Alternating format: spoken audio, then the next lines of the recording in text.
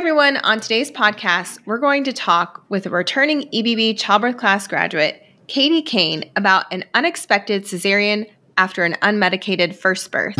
Welcome to the Evidence Based Birth Podcast. My name is Rebecca Dekker, and I'm a nurse with my PhD and the founder of Evidence Based Birth. Join me each week as we work together to get evidence based information into the hands of families and professionals around the world. As a reminder, this information is not medical advice. See ebbirth.com slash disclaimer for more details. Hi everyone, my name is Rebecca Dekker, pronouns she, her, and I'll be your host for today's episode.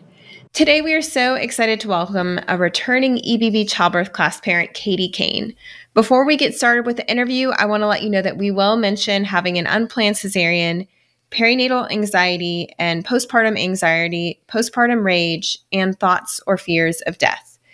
If there are any other detailed content or trigger warnings, we'll post them in the description or show notes that go along with this episode. And now I'd like to introduce our honored guest. Katie Kane, pronouns she, her, lives in New Jersey, right outside of Philadelphia, with her husband, two daughters, and a dog named Roscoe.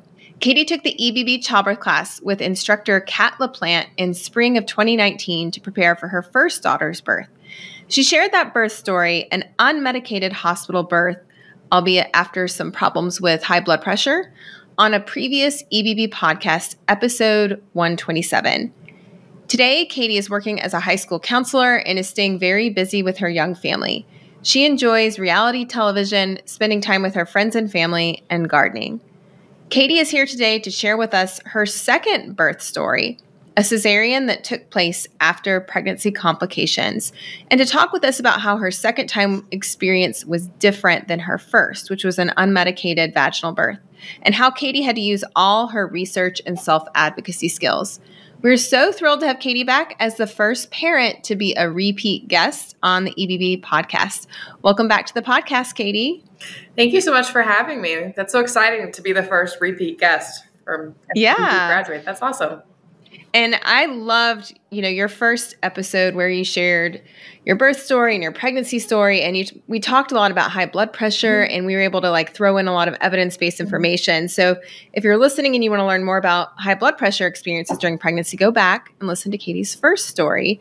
But how was your pregnancy like this with the second experience? How did that compare to your first pregnancy? Was it different or the same, or what was going on the second time? It was extremely different. I knew from the very beginning that this was going to be a very, very different pregnancy. So we got pregnant in July of 2020, and we had just decided that we were moving. We had put our house up for the market on the market and had put an offer in on a house actually on my oldest daughter's first birthday.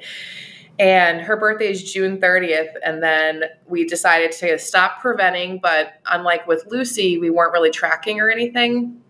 But by July 21st, I was taking a pregnancy test and saw the faintest of faint lines. Um, and that was our daughter Cassidy. And just from very early on, Cassidy made her presence known in my body. I started having pregnancy symptoms like a week before my missed period. And I felt like, I mean, it obviously wasn't her like kicking or anything, but I felt like a lot of movement, a lot of like pulsating and flutters very, very, very early on, like 10 or 12 weeks. Lucy was like a very, very mellow baby. She was head down starting at 20 weeks, which we'll talk about more, was a big issue for Cassidy. One of the fun things about this pregnancy is we decided that we were going to wait till delivery to find out if we were having a boy or a girl. And Lucy, we did a whole gender reveal party. Really throughout the pregnancy, like I knew I knew that this was going to be a very very different pregnancy and delivery and I don't I don't know why. It was just kind of like an intuition that I had.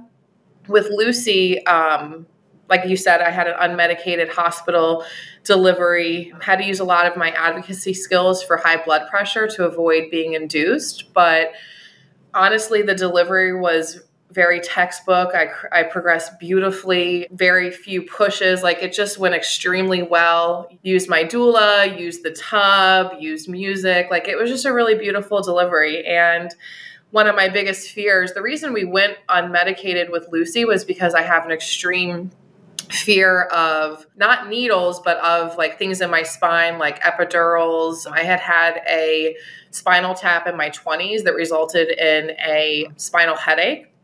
So I just had a huge fear of that. So that's why we really went unmedicated.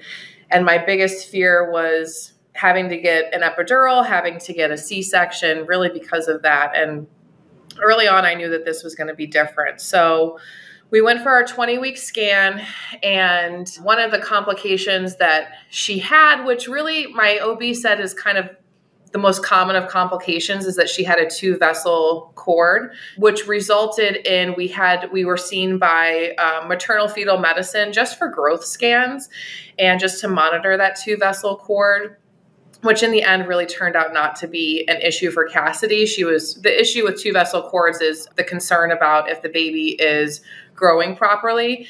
And she was growing fine. She was a little bit smaller than my daughter. My daughter was nine pounds, five ounces at birth, and Cassidy was eight pounds, eight ounces. So she was a little bit tinier, but eight pounds is a great size for a baby. So, but we were we were followed closely by maternal fetal medicine because of that. And just really at that 20 week scan, like they kept making comments like, oh, she's in an odd position. She, you know, it's kind of hard to see parts of her. Like she's just in a really odd position. And I don't know what it was. Like it was just such an off the cuff comment. There was no concern whatsoever about her positioning at that time. Like it's 20 weeks. There's no, the baby's moving all around. But that just kind of stuck with me. I always was like, mm, her I, I just have a feeling about this baby. I have a feeling about this delivery, and I her positioning is just really strange. So, like I said, we were doing a lot of scans because of the two vessel cord and her growth. I had had previous high blood pressure, like you said, with Lucy, but I didn't have any blood pressure issues with Cassidy, which was wonderful. I was on baby aspirin since I think they have you start at 12 weeks. So I'm not sure if that ended up helping with the high blood pressure or if it was just a change in diet and activity but no blood pressure issues with Cassidy. Normal normal pregnancy things that a lot of moms say they experience in their second pregnancy lots of fatigue but you're also keeping up with a toddler which contributes to that. But really at that point at that 20 week scan the two vessel cord was the only kind of complication. As you got towards the end of your pregnancy, what kind of things were happening? So I had been seeing my chiropractor. I started seeing my chiropractor who's um, certified in the Webster technique, which is kind of what you should always look for if you're going to be doing chiropractic care during pregnancy. And she's amazing. And I started seeing her probably around the 20 week mark, talking to her about my concerns with the baby's position. And so Cassidy was not head down until I went for a scan at maternal fetal medicine around 30 31 weeks right at the end of my 31st week. And she was finally head down which was really exciting because she hadn't been head down since that point. And everyone really thought that okay she's head down we're good to go no issues. But then later that weekend i remember like my stomach completely changed. Like I was laying in bed and I felt this big movement. My stomach was kind of like protruding out. It was a completely different movement. I remember saying to my husband, Does my stomach look different to you? And he was like, Yeah, I guess a little. And I was like, I think that she flipped again. And I think that she's back to being head up. At that point, we didn't know if it was a boy or a girl. But so I went in for my 32, right at the end of my 32 week appointment. And I said to my doctor, you know, I think that she flipped again. She was head down at my last ultrasound, but I think that she flipped again. And he was kind of like, and this is the oldest doctor in the practice. And he, he's just kind of like a legend. And he was like, that's really unlikely. Like, I don't think that she did. And he was feeling, but I'm heavier. So it is kind of harder for the doctors to palpate exactly where she is. So he ended up doing an ultrasound, and sure enough, he he like did an ultrasound. He's like, "Yep, that's a butt." She flipped again. At that point, he really like reassured me. He's like, "You're only at 33 weeks." Clearly, if she's moving, she has room in there. Your fluid looks great because that's one of the things that they're always monitoring with babies eh, if they're moving around. Like, if you don't have, if you have too much or too little fluid, that can really complicate baby getting into the right position. So he really reassured me that if she was head down, she she knows how to get head down. She should make her way back head down. There shouldn't be you've you've had a previous baby that was head down. We know that there's not a uterine complication that's keeping baby from going head down. She's been there before. At that point though, I was like, I have this intuition. I think that something's something's up with her positioning. I really want to get proactive about this. We had also we hired a doula who was amazing. And she was really there for me emotionally supporting me hearing my concerns validating my concerns. Because really like the data shows that like babies want to be head down. Only i think it's a super small number like 3 to 5% of babies end up being breech at delivery. So babies want to be head down. And Oh, that's what everyone was saying to me. She'll end up head down. Babies are supposed to go head down. That's what my doctors were saying to me. But she really helped me kind of start investigating like what can we do? So we did a lot of spinning babies. Spinning babies has this really nice guide that you can purchase that's like a 20 page list of exercises that you can do and it's a whole like I think it's a 6 week program that you can do if you find yourself late in pregnancy with a breech baby. So she purchased that for me and sent it over.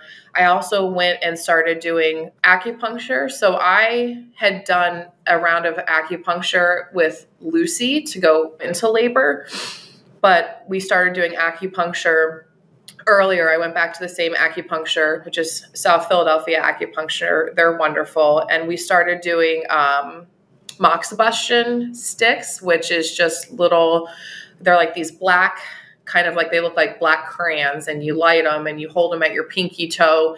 And that's one of the things that the acupuncturist recommended. So we would do that multiple times a day, my husband and I. And then I was going into acu- for acupuncture, I think twice a week. And starting around like 34 weeks.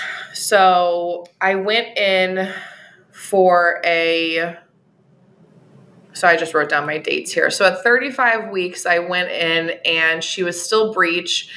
And I this was at my maternal fetal medicine appointment. At this and at this point I had kind of started asking around, like I was talking to different people that I knew from the birth world. I was still in touch with Kat, talking a lot with my chiropractor, my doula, because like most areas, my practice won't deliver birth or breech babies. It's an automatic C-section.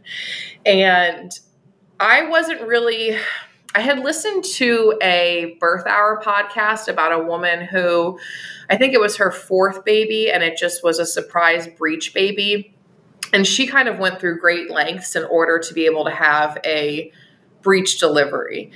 And one of the things that she talked about, that her provider talked about with her, was for a breech delivery to be successful, mom has to be like mom's the one doing the pushing. Mom has to be confident. Mom has to feel safe doing that. Like mom mom is the one making it happen. And at that point I really was I was nervous about doing a breech delivery. I had done a lot of research and you have a great episode. I think it's a kind of an older episode and I listened to that episode and not that it's just kind of like everyone says that breech deliveries are really scary and but but that's not the that's not the truth. I mean there's a lot of great evidence that breech deliveries can happen and there's not necessarily like a ton of contradictions for breech deliveries if you have the right provider but my practice it doesn't do they don't do breech deliveries so there's a hospital nearby that people were saying like if you're going to have a breech delivery the likelihood of you having it in this area is at this hospital with this practice. And the way that my MFM works is that it's rotating doctors. So at my 35 week appointment, I actually had a provider from that hospital. And so I had a long conversation with him and and they say that like if you're going to have a breech delivery, you need to find an older provider because they're the ones that were actually trained in breech deliveries. They don't really train doctors in them now. And so I spoke with him and he said, You know, yeah, I do do breech deliveries. He said that kind of the way that it would work, though, is that you're really like, I could join his practice but it's it's doctors and it's whoever's on call is going to be the one delivering and he said the likelihood of it working out that he was on call to do the breech delivery you know it's a 1 in seven chance or however many providers that they have. And he said there's not many providers in his practice that do do breech deliveries. And so it's kind of like when I go into labor, I would have to see if he was on call. And it just sound that sounded extremely stressful to me. It's and also going to a hospital. I wouldn't be able to deliver at the hospital where I had Lucy. And I really did like I like the hospital that we delivered at. And so that was running through my mind. So it, it was just a very, very, very difficult time. I was kind of preparing for the idea of having a cesarean birth, but then also had this in my the back of my head that she could flip head down at any time. It's kind of like in my head I was preparing for two different deliveries and I couldn't I couldn't get comfortable. I couldn't find like a space where I felt confident and safe with planning for for the delivery. It was a, it was just a really really challenging time.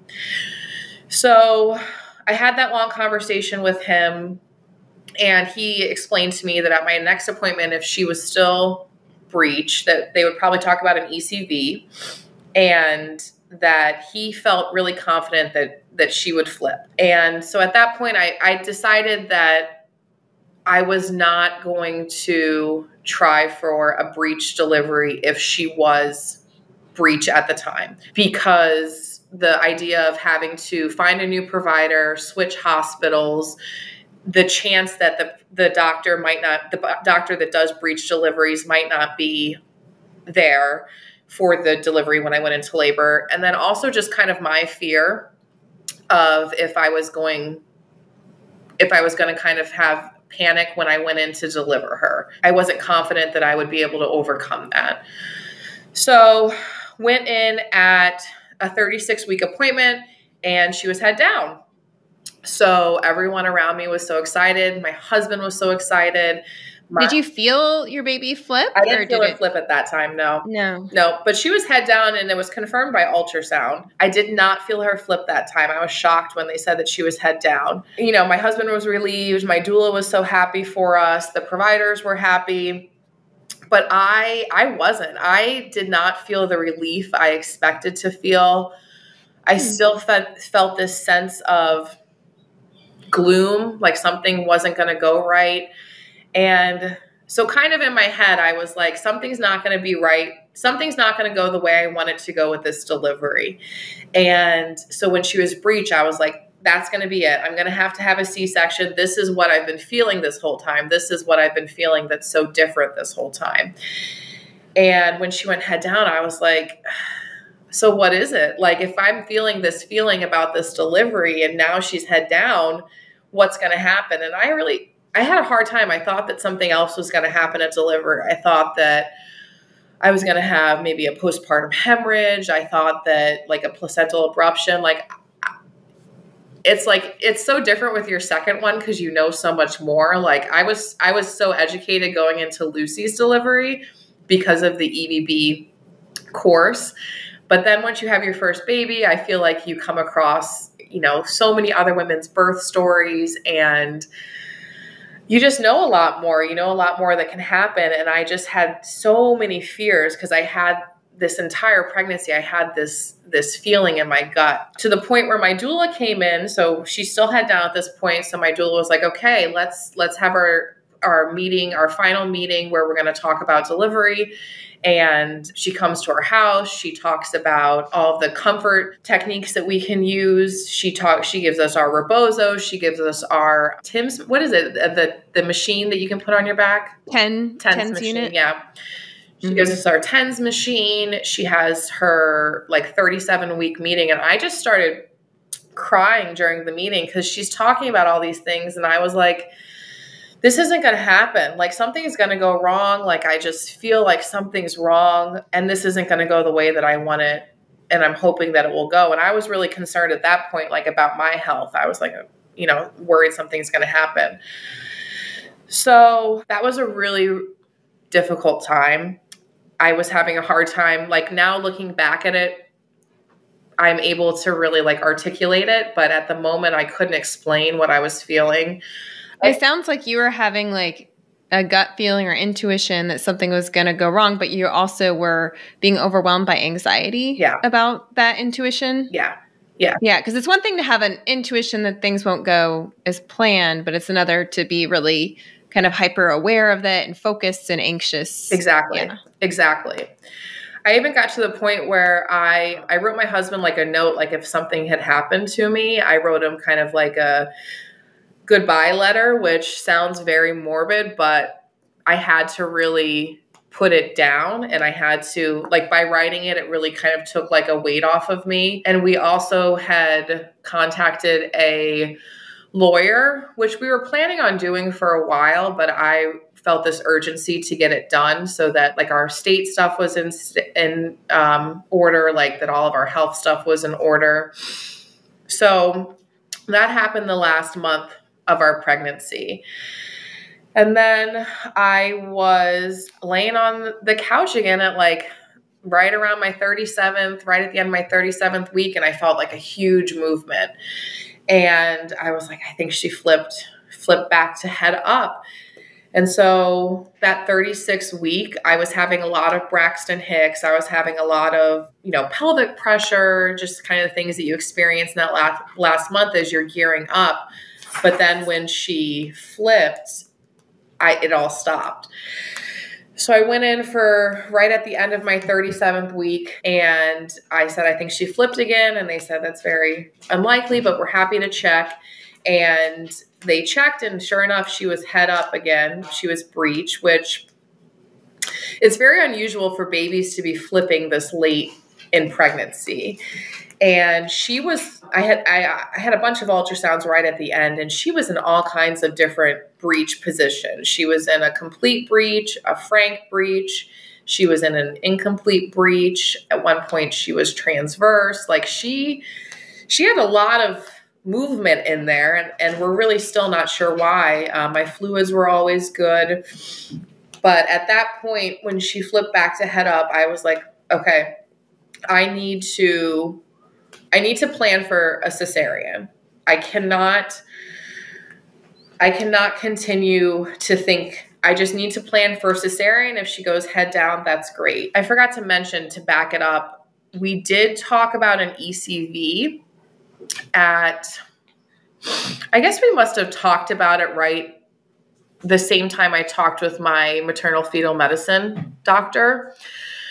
So the ECV procedure is where they try to like and flip the baby from the outside by by pushing on your stomach and they oil you up. At my doctor's office, they do usually recommend giving you an epidural to do it, which I, I don't think everyone does that, but my provider does recommend doing an epidural.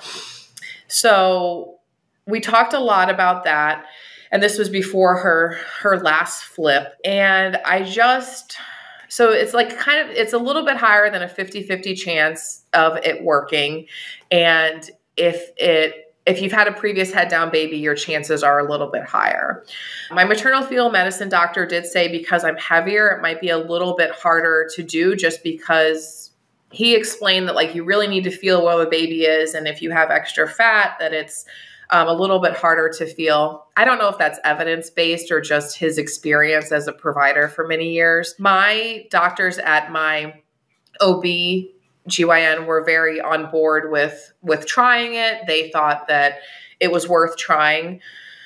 My husband and I talked a lot about it. I talked a lot about it with our doula, and I just really felt that if she wasn't staying head down, there was a reason she wasn't staying head down. And I I just I just decided against it really for for that reason and I didn't want to end up I would rather have a planned cesarean than an emergency cesarean. So my fear was that something could go wrong with the ECV and then we have a emergency cesarean versus having a planned cesarean. So and I'm glad that we didn't end up doing it because my provider wanted to do if she was still breech, they wanted to do it earlier. So I guess kind of there's two two schools of thought that you either do it early around like the 37th week and then you they um bind your belly. I, I guess I'm not sure what the exact term is. or you do it later, like your 39th week, and then you're induced at that point to make sure baby stays head down. My provider would have wanted to do it like 36, 37 weeks. And at that point, she was still flipping. So I'm glad we decided not to do it. Mm-hmm. So now we're back up to like my 38th week. And at that point, she was breech. I decided that we had to plan for a cesarean. We were still doing some spinning baby exercises.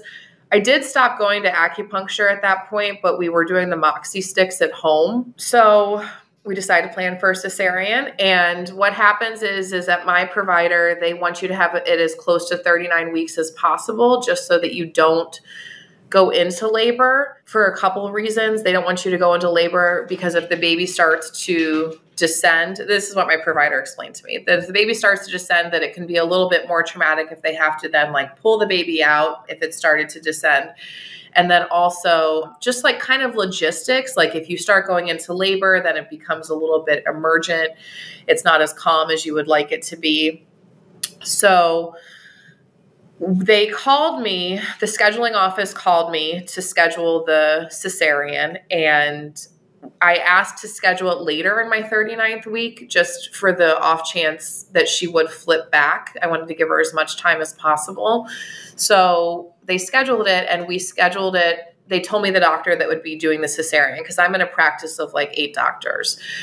And what I did was is I then called up my doctor's office and I said I would like an appointment with this doctor. She's doing my cesarean. I'd like to speak with her before doing the cesarean, which I'm really happy that I did and I would really recommend that to anybody that's in a similar situation as my practice. So, did you meet with your doula or like did you do research on how to have a better experience with the cesarean? Yeah. So this whole time I was like in constant contact with Mallory, who's my doula. We were constantly texting. We were constantly, she's, she sends a lot of stuff, which is great. So her and I had had a long conversation. She said, so this was March of 2021. COVID restrictions at my hospital were in New Jersey. They, doulas are considered medical personnel, so they don't count as one of your support people. So, my hospital, you're allowed to have one support person and then your doula, which didn't count as a support person.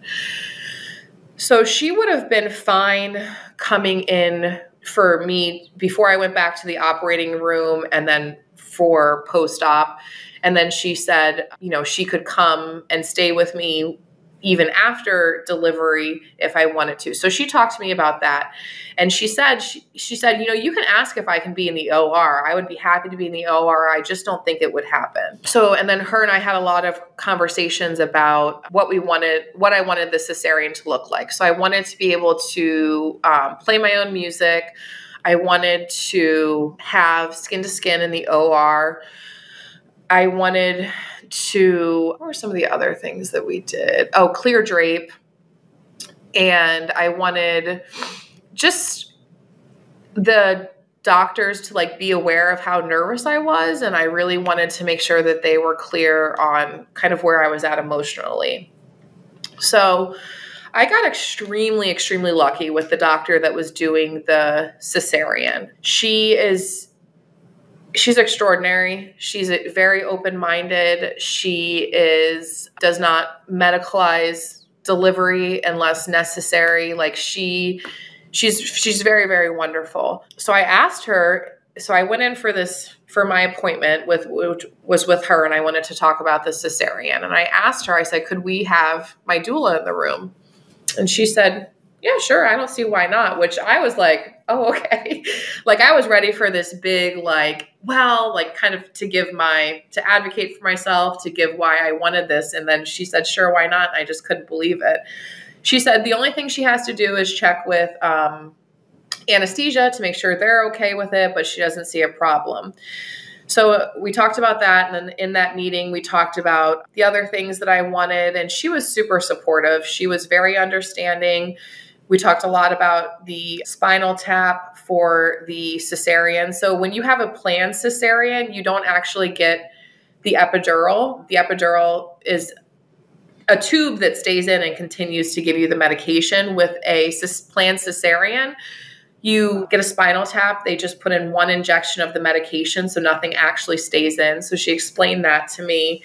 She explained the timing to me, she explained the recovery to me, and told me what to expect, which I was really thrown by what to expect for the recovery. She said that I couldn't really pick up my daughter for four to six weeks. She talked about, you know, doing stairs, really only wanting to do stairs once a day if I had to, not driving for two weeks. So I was very, I was extremely anxious about the recovery. And I talked to my doula a lot about that, talked to my husband a lot about that. We're really fortunate in New Jersey that we have paid family medical leave. So my husband works in New Jersey, I don't. So I was on my school's like short-term disability plan, but my husband was actually able to take family medical leave to take care of me after my C-section. So we were extraordinarily fortunate in that from the state of New Jersey.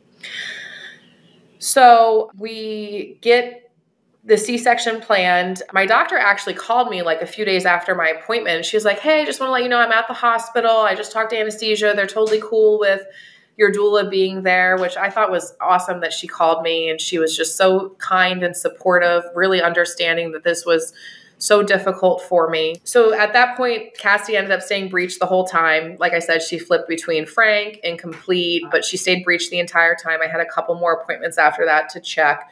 So we were all set for the C section. We had the C section scheduled. It was an early morning C section. And it's kind of cool. So, like, my daughter was born, Lucy was born on June 30th at 39 weeks and five days. And then Cassie was born at, on March 30th at 39 weeks and five days. So I feel like there might be something there with the numbers. So yeah, my husband and I drove to the hospital that morning. We were still, uh, we still didn't know what we were having and we were still talking about names. And he was, he wanted to do Cassidy and Cassidy is a Grateful Dead song. And so we were listening to that song on the way and just kind of, you know, talking. We got to the hospital. It was very calm, way different than when I was actively in labor with Lucy going into the hospital, just very calm. We went back. They take you back to your triage area. One thing I forgot to mention is they actually called me the night before. A nurse from the labor and delivery calls you the night before, and she spent about 20 minutes on the phone with me just talking about the logistics of the day talking about what time to get there, what to expect, talk to me about my doula, talk to me about any questions I had, which was a really which, which was really really nice. So, backing to the delivery day, we get to the hospital.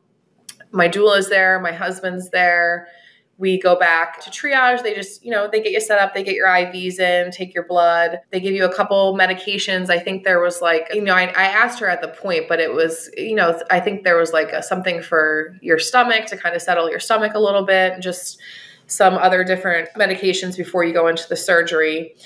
So then we're back in pre-op and they take i went back to the operating room first to do the spinal. My doula and my husband weren't there for the spinal, which was really hard.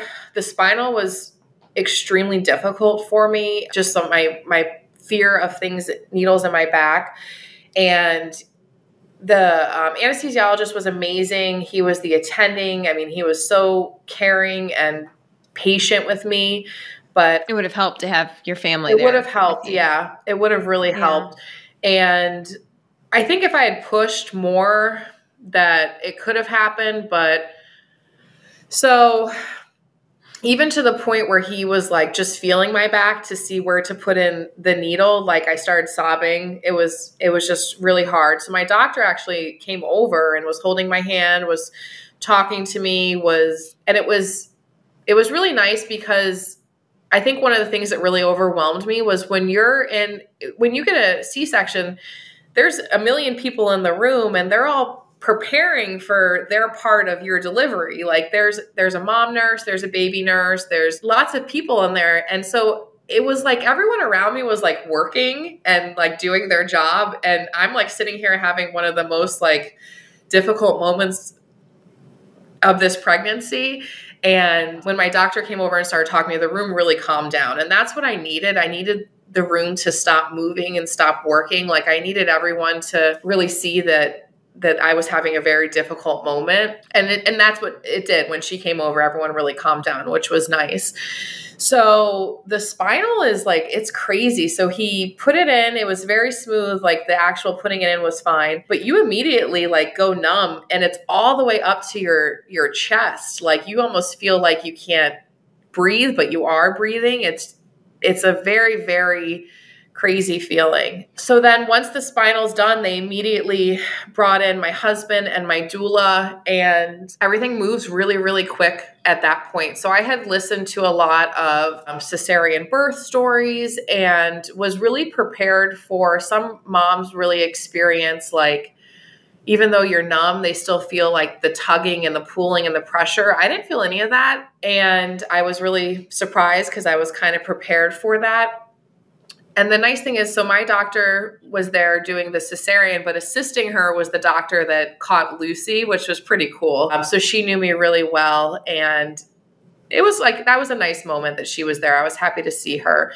And so they had the clear drape up and i sent some pictures of this. I'm not sure if they're too graphic for the website but i really love these pictures. So they had the clear drape up which they i think it was like they drop it after the baby comes out and they're holding her up and i'm like kind of putting my hand next to the drape. And then my my doctor actually dropped the drape so that i could touch her as she was holding her up which was really nice because it's just like for a mom to have to like touch her baby through a clear drape the moment that they're in the world like no one wants to do that you want to hold your baby and you want them to be close to you so the fact that she did that was just like such a beautiful moment for me and really took away kind of the the pain of not having the vaginal delivery where she would have immediately been put on my chest.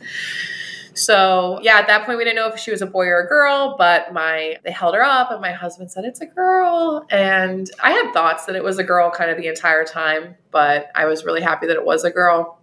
I think my husband my husband was definitely hoping for a boy, but I think we're both happy to have two girls, especially so close in age.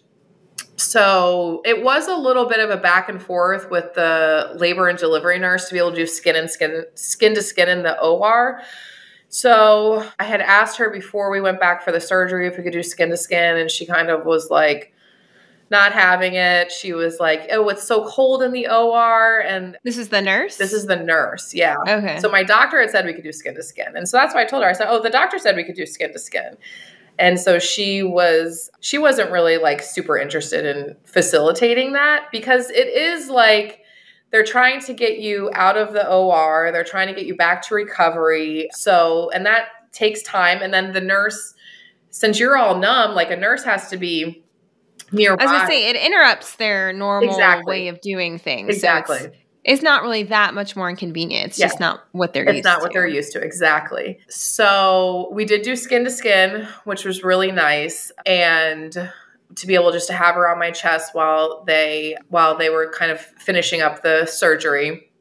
It wasn't as long as I had hoped it had been, but my husband held her the rest of the time and then one of the things that happens, so, you know, you're still open on the table. Like you're still having major surgery while everyone's in the room, while you're meeting your baby for the first time. So they're they're sewing everything back up. One of the things I did ask her, I was like, "Did you see a reason why she would have been breached? Like, was her cord short? Was there a weird placenta placement?" I did forget to mention I had an anterior placenta with Cassidy. I I didn't know if the placenta was in an odd spot, like keeping her. And she said, "No, I, I didn't. I didn't see anything. Like we don't. I I can't really tell you why she was breech or why she was flipping so much. I didn't see anything that stuck out to me."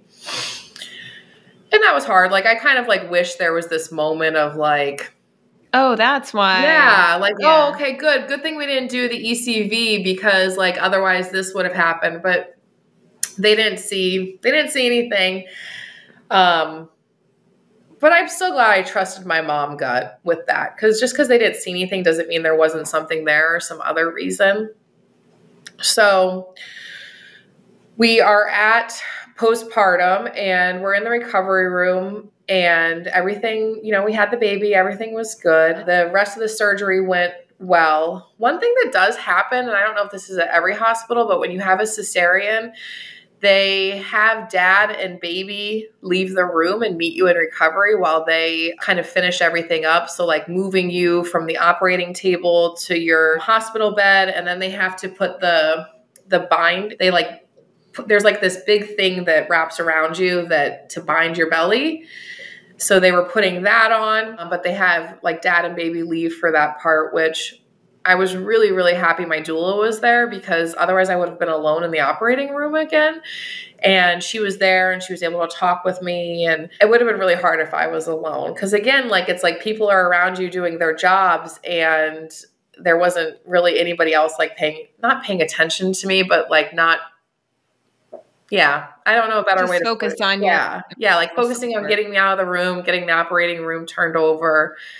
So I was super glad that she was there. Yeah, so that was that's how Cassidy came into the world.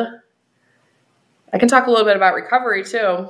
Yeah. how was your recovery? Because I know it was something you were worried about. Yeah. So in the hospital, it was tough. I have a hard time with anesthesia. So I like when I had my wisdom teeth out, I would get I got really sick from anesthesia and then I can't remember if I mentioned this in my last episode, but I had a I have endometriosis and in my when I was like 25, I had surgery for endometriosis and I actually had a misshapen uterus. It wasn't like a full bicornate uterus, but I had like a septum at the top of my uterus that they ended up removing during that surgery. And then they removed the endometriosis.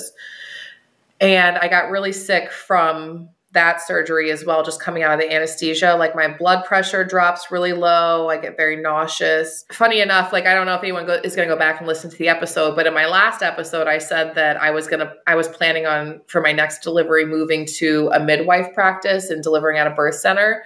But I found out that I I couldn't deliver at a birth center because they because of your history of yeah, surgery. Yeah, there. yeah, mm-hmm. they treated it like a VBAC. So that's why I ended up staying with that practice. So I got I got again the same thing happened. My blood pressure dropped really low. I was in recovery longer than expected, and I got really sick, really nauseous. I was throwing up from the anesthesia.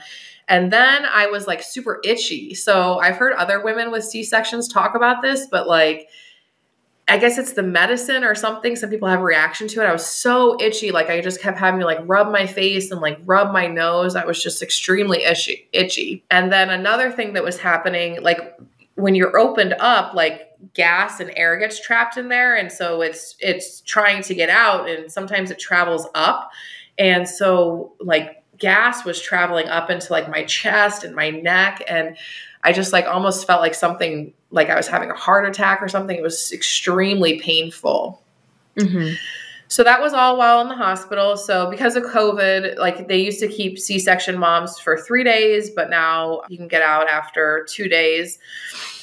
And so we got out after two days and we were home and the recovery was really long. I ended up doing pelvic floor physical therapy and it was just difficult. Like it, I just felt like the lower half of my body wasn't in sync and wasn't connected anymore to the upper half. I felt like it was really difficult to do things that were so common before I had the baby. Like before I had Cassidy, I would be able to like squat down at my toddler's eye level and talk to her and like I couldn't do that at all. And it was a long, I mean, it probably took close to like a full year. I'm about a year right now postpartum, and I would say it took close to 10, 11 months to really feel like my body was connected again. It was an extremely, extremely difficult postpartum experience for my body. I actually had like postpartum rage and postpartum anxiety after having Cassidy. And I experienced it a little bit with Lucy, but I ended up going and talking to my OB, but it wasn't until Cassidy was like 10 months old and ended up going on Zoloft, which has truly like changed the course of my life. I mean, it's been amazing. And just, I really wish I had talked to her sooner because I was trying to really white knuckle it for a long time. And Cassidy has some like some health issues, but, and I just was kind of like contributing to the stress of that but I'm so glad that I did that. Like it was just, it was, and my provider was amazing about it. And uh, just, it just, I truly like had a chemical imbalance and like just needed it. Like it, and it's been, it's been absolutely wonderful. Yeah. So Cassidy had like, so she had a tongue and lip tie, which made breastfeeding extremely difficult. So I was, I pumped for a while probably until she was six or seven months old. And she just, she's just such a different kid. Like she had RSV and was in the hospital for a couple days. And she actually has this thing called FPIES, which is where she, she can't eat bananas. Like when she eats bananas, she ends up throwing up for like days on end which was really hard to figure out because most baby foods have bananas in it because it's a thickening agent. And that's like one of the first foods most people give babies. Luckily, my pediatrician had experienced it before, so she knew it right away. But it was just like a really she had chronic ear infection. She just had ear tubes in. So it just was like a really difficult, like postpartum year. And we're just kind of mm-hmm. coming out on the other side at this point. But it, it's definitely been a lot a lot better uh, now that she's past that year mark and everyone's taking care of themselves. Yeah. And I think, you know, you raised a good point talking about the, you know, it sounds like you had perinatal anxiety, like oh yeah, anxiety during pregnancy and you know postpartum either. You can have it at any of those time points. And like the importance of talking with your mm-hmm. healthcare provider and your support team about that and getting treatment if needed because in general things like anxiety don't tend to just go away. Yeah. Like you have to do something to address it. Yeah. Yeah. Yeah and i think as moms we put a lot of pressure on ourselves like to do things for our kids, make life good for our kids. And there's definitely can be like a stigma with medication. But since I went on Zoloft and started talking talking about it, like a lot of women I know are on some sort of medication and our bodies have been through so much. Like our bodies have been through, I mean, in the last since October of 2019, you know, I've been pregnant, breastfeeding, or postpartum for, you know, that's a long time. And that's a lot of mm. hormonal changes in your body and life changes. And, and then we just, you know, sometimes we don't take care of ourselves as well as we take care of our kids. And we really should because we're the we're the best things for our kids and we got to be here and we got to be the best versions of ourselves and i think that's a hard thing to realize that it to swallow the fact that you can't be the best version of yourself without medication, I think is a difficult thing for women to think about, but it's been life changing. It's really, mm-hmm. really has been life changing. I probably should have gone on it after I had Lucy and stayed on it while I was pregnant with Cassidy because just some of the thoughts I was having with Cassidy were just like the thoughts that I was going to die that I would, you know, mm-hmm. I, those those I should should have had under control. Yeah, you were having severe anxiety yeah. symptoms, it sounds like. Yeah, for sure. Was there anything from taking the EBB childbirth class for your first birth that you felt like really helped you the second time around? Yeah, I mean, I think I definitely used my EBB skills much more than I did with Lucy just because I had to. I mean, the fact that I was even able to have all these conversations with my providers and advocate for myself, like that came from the EBB course. And the fact, like, just with the resources that you offer in terms of under, like, because I think that for women, like, looking at research can be so overwhelming, but just the quick, like, sh- EBB articles that are offered that really synthesize everything and has up to date research are life changing. Some like, I mean, I, I know that you have articles on, and I like I mentioned, you have the podcast on mm-hmm. breech deliveries. Another thing that we had this pregnancy was I was GBS positive and I wasn't with Lucy. So when I thought I was having a vaginal delivery, we started talking about that and looking at the research for that. And then another thing, after I had Lucy, I had my hospital's like standard procedure is to give Pitocin after delivery. And I had long conversations with my doula about that just because it was really inconvenient. Like I was hooked up to an IV for almost 12 hours after delivery, and it just didn't feel necessary. So, and I was able to talk with my doctor about that and come up with a different plan for if I had had a vaginal delivery. I can't remember. if I was on Pitocin after Cassidy, to be honest. I can't. It sounds like it was a little bit of a blur for yeah, you. Yeah, I can't remember how long I had an IV in, but I remember with Lucy, like it was really annoying to still have an IV in after because I didn't even have. I just had the Hep lock during delivery with Lucy, and then I was hooked up to an IV after delivery. It just didn't really like compete mm-hmm. with me. So that was very helpful to be able to research those articles and just like the network that I was able to create. Like I still kept in touch with Kat. Kat actually recommended Mallory to me, who was my doula, knowing to go to a chiropractor, knowing to go to acupuncture. Also, like there is a section in the EBB course about planning for a cesarean.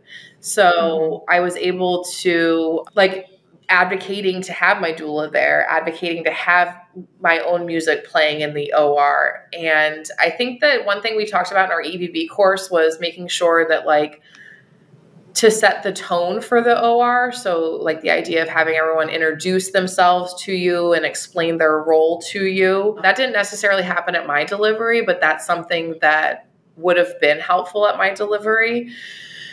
And I think with Lucy, like I put the idea of having a cesarean out of my mind. Like I, I didn't want to think that it would happen, but we did talk about it in the EBB course because it is something that can happen with delivery and mm. just the idea of knowing that there are times you have to have cesareans and there are times that they are medically necessary and being at peace with that and knowing that it's not your body failing it's not anything wrong with you or your baby. It's just what your baby needed to come into the world. And honestly like the EBB course helps you avoid the cascade of interventions but i don't think that that's not what happened with cassidy. It just was you know she was one of those 3 to 5% of babies that were breech and of course we could have a bigger conversation about not having vaginal breech deliveries in this part of the country but i wasn't willing to like i wasn't willing to like negotiate having like I didn't want to go mm-hmm. that route of no, it sounds like for your anxiety yeah. the need to have kind of like a plan that yes. wasn't constantly changing yes. was really important for your mental health yep. so yep. it sounds like you made the decision that was most empowering for you and for healthy sure. for you for sure yeah. and we really appreciate you coming to share your story katie i wanted to point out you know you mentioned a couple podcast episodes dr elliot berlin came on episode uh, 111 to talk about breech pregnancies from the chiropractor. And then we have a, a mini breech series that we did, uh, episodes 171, 172, and 173. We have a vaginal breech birth story. We talk about the evidence on ECV for turning breech babies. And then we have Dr. Freeze and Dr. Hayes come talk about the evidence on breech birth. So I encourage our listeners who are experiencing a breech birth to make sure you check out that mini series. But Katie, thank you so much for sharing your story. And, you know, it was really a delight to hear from you and that your advocacy skills still came into play, even with a very different pregnancy and birth. Thank you. Thank you so much for having me. Thank you for all the work that you do. We really appreciate it.